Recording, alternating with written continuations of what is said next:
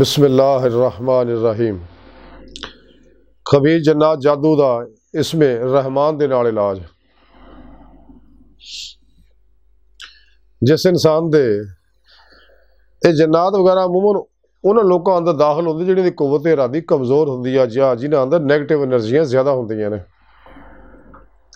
ਇਸ ਵਾਸਤੇ ਇਨਸਾਨ ਨੂੰ ਚਾਹੀਦਾ ਆਪਣੇ ਆਪ ਨੂੰ 네ਗੇਟਿਵ એનર્ਜੀਆਂ ਤੋਂ ਮਾਫੂਜ਼ ਰੱਖੇ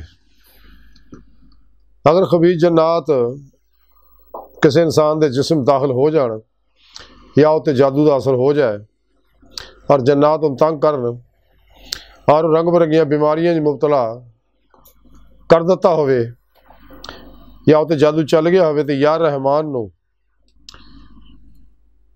1100 ਵਾਰੀ ਪੜ ਕੇ ਪਾਣੀ ਦੇ ਦਮ ਕਰਕੇ ਮਰੀਜ਼ ਨੂੰ ਸਵੇਰ ਸ਼ਾਮ 40 ਦਿਨ ਤੱਕ ਪਿਲਾਉਂਦੇ ਰਹਿਣਾ ਚਾਹੀਦਾ ਹੈ।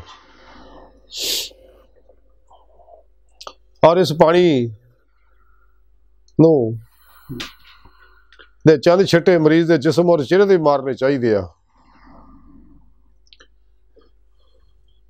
ਯਾ ਰਹਿਮਾਨ ਨੂੰ 11 ਵਾਰੀ ਲਿਖ ਕੇ ਉੱਤੇ 11 ਵਾਰੀ ਪੜ੍ਹ ਕੇ ਦਮ ਕਰਕੇ ਤਾਵੀਜ਼ ਵੀ ਮਰੀਜ਼ ਦੇ ਗਲ 'ਚ ਲਟਕਾ ਦੇਣਾ ਚਾਹੀਦਾ ਇਸੇ ਤਰ੍ਹਾਂ 40 ਦਿਨ ਤੱਕ ਰੋਜ਼ਾਨਾ ਪਾਣੀ ਦੇ ਨਵਾਂ ਦਮ ਕਰਨਾ ਚਾਹੀਦਾ। मरीज़ खुद दम कर ले या किसको करा ले। अव्वल आहत रुशरी पढ़े, जानदार का सदका दे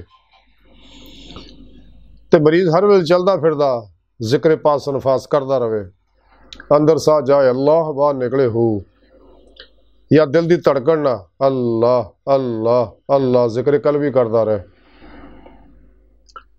तो इन शह हर तरह जन्नाद जादू तो अल्लाह तौला, अल्लाह सोना शिफा देगा। अल्लाह अकबर कबीरा